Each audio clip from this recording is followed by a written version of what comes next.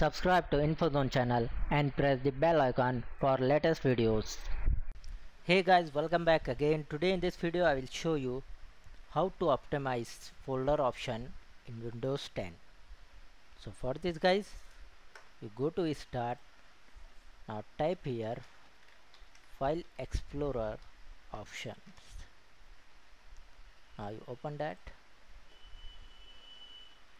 In this format, you go to view scroll down here and see the hide options.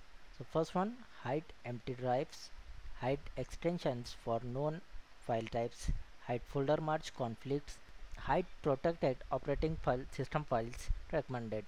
You need to check the all four options. You check.